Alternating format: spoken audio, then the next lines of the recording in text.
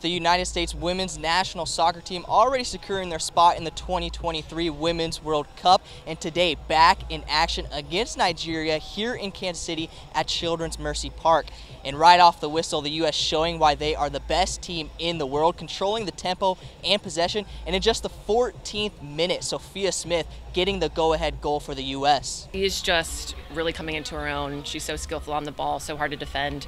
Um, and every game, she just keeps taking more and more strides in her game. This is the, the best team in the world, and in order to play on this uh, on this team, you have to be one of the best in the world. So the, uh, she is a special player. And Smith actually finishes with two goals in this match, the leading scorer, and her teammates speaking after the game on her performance.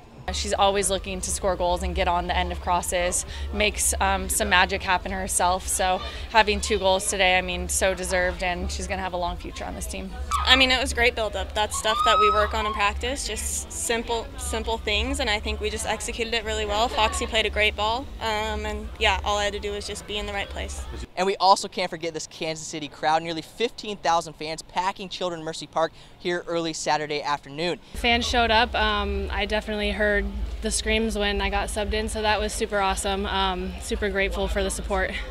Uh, it was great. I mean, to have 14,000 or 15,000 at 12:30 on a Saturday, um, they showed up. They were loud, so it's always great to play here. The crowd was amazing. I mean, you could feel their energy until the very last minute of the game, and I think it's it's just great for women's soccer to see this kind of a crowd turn up in the middle of the day. So it's it's great. So now the U.S. is done here in Kansas City, but it won't take long for them to get right back into action because on September 6th they have a rematch with Nigeria over in Washington D.C. Reporting from Children's Mercy Park, Mitchell Riberall, KQ2 Sports.